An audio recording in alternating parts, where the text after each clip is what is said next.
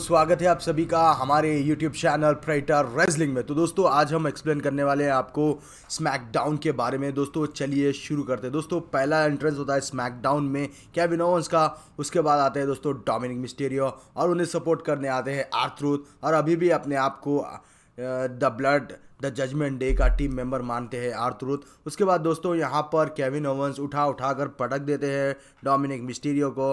और दोस्तों ये मैच में बहुत ज़्यादा मज़ा आता है। और डोमिनिक मिस्टीरियो की रक्षा करने आर्थरूथ वहाँ पर आते हैं और केविन ओवंस के बीच में आ जाते हैं। उसके बाद दोस्तों केविन ओवंस क्लोज लाइन लगा देते हैं डोमिनिक मिस्टीरियो को। और दोस्तों इस मैच में जब डोमिनिक मिस्टीरियो केविन ओवंस पर अपना सिक्स वन नाइन लगाने वाले रहते हैं तो यहाँ पर आर्थरूथ आकर उन्हें रोक लेते हैं। उसी का फ़ायदा उठाते हुए केविन ओवंस उन्हें पॉप अप पावर बॉब मारकर इस मैच को और एक हाई फ्लाई मूव मारकर इस मैच को जीत जाते दोस्तों the winner of this match Kevin Owens दोस्तों, अब बात करते हैं एक और मेन इवेंट मैच की तरफ़, जो था Logan Paul versus the miss. दोस्तों, इस मैच में Logan Paul high fly move मार मार कर मिस को हक्का बक्का करते हैं। लेकिन दोस्तों, मिस पीछे नहीं रहते। लेकिन दोस्तों, इस मैच की एंड में मिस भी अपना जलवा दिखाते हैं। लेकिन दोस्तों, इस मैच में लोगन पॉल बाहर ढकेल कर मिस को हक्का बक्का करते हैं और इन दी एंड अपना फिनिशर मारकर इस मैच को जीत जाते हैं।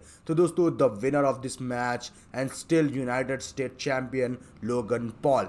दोस्तों, अब चलते हैं मेन इवेंट जो था, आप सबको बेसब्री से इंतज़ार था। ये पल का वो है रोमन रेंस और रॉक का अपेरेंस ऑन स्मैकडाउन दोस्तों, पहला एंट्रेंस होता है रोमन रेंस का और आप सभी को मालूम ही है कि रोमन रेंस कहते हैं कि एक्नॉलेज करें मुझे। उसके बाद दोस्तों रोमन रेंस कुछ अपनी फैमिली के बारे में कहते हैं और तुमने और ऑडियंस को कहते हैं कि तुमने बड़ा मैच मैच मिस कर दिया। तो दोस्तों, उसी पल द रॉक का एंट्रेंस होता है और रॉक के एंट्रेंस के साथ लोगों का चांस बहुत ज़्यादा आ जाते हैं दोस्तों।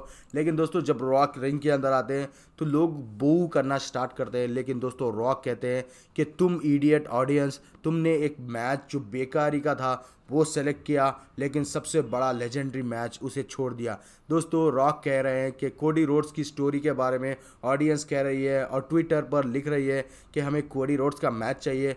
लेकिन एक साल पहले रसल में रोमन रेंस ने कोडी रोड्स को बहुत ही बुरी तरह से डिफीट कर दिया था। तो दोस्तों, उसे रॉक कहते हैं कि कोडी रोड्स को मूव ऑन करना चाहिए और रॉक वर्सेस रोमन रेंस एक बेस्ट मैच होता इस रसल मेनिया में। तो दोस्तों इन दी एंड ये ब्लड लाइन का हाथ उठाकर ये स्मैकडाउन का दी इन दी एंड ख़त्म हो जाता है। दोस्तों, आपके हिसाब से अगर कोडी रोड्स के बजाय रॉक और रोमन रेंस का मैच होता तो आपको ये पसंद आता या नहीं, आप अपनी राय कमेंट में ज़रूर बताइएगा।